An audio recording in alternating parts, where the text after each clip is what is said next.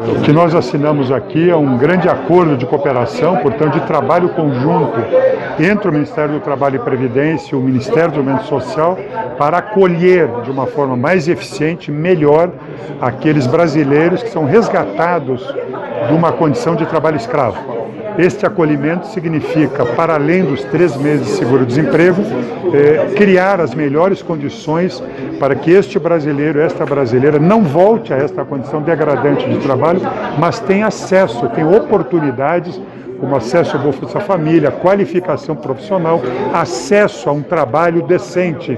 E, portanto, tenha um melhor acompanhamento, acolhimento e possa viver de uma forma melhor e mais qualificada. Faz parte, portanto, de um melhoramento nas nossas condições de trabalho para impedir o retorno eh, a este ciclo perverso de trabalho. É isso que nós estamos aqui assinando e muito felizes, porque este trabalho integrado das equipes vai permitir eh, que uma vida de muitos brasileiros e brasileiras seja melhor.